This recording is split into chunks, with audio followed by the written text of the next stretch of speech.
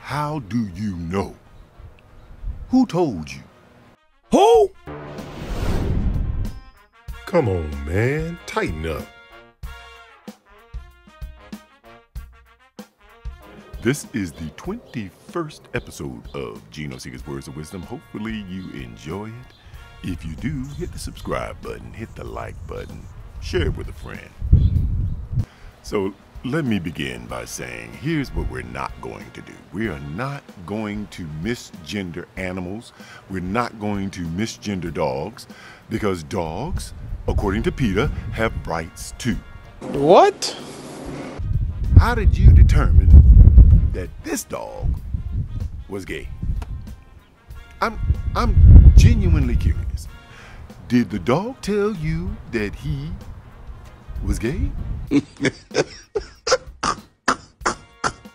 if the criteria you use to determine that this dog was gay, for example, the way the dog walks, the way the dog barks, the way the dog eats his food, or maybe maybe the dog asserting his dominance over other dogs, which what I understand is a playful activity, it has nothing to do with sex. It's just the dog humping the other dog to assert dominance and as, as a playful way to assert dominance.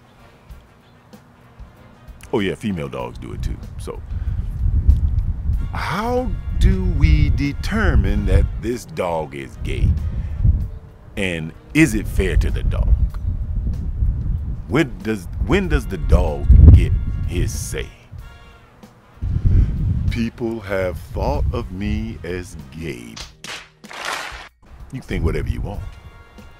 I know what I am. I know who I am. But does the dog have that same ability? Got him! the where-all to understand that the, this couple views him as a dog that likes other male dogs. Look, all I'm curious about is how we determine that the dog is gay. Are you fluent in dog? What? I've heard of people giving male dogs girl names. I've heard of that. Their car, a feminine name. Their house, a feminine name. Which is all well and good. I mean, do what you want. It's all well and good. Do what you want. Whatever works for you. If you like it for you, I love it for you. But my dog ain't gay. My dog might be transgender. she been spayed. She's been she's been fixed. You gotta be kidding me. Yeah, my dog is a nothing. But my dog is partial to females. So does that make my dog a lesbian? Something to think about. Please, if you have anything on this subject, please leave it in the comments. I'm really curious to hear what you got to say. Now, don't get mad at me.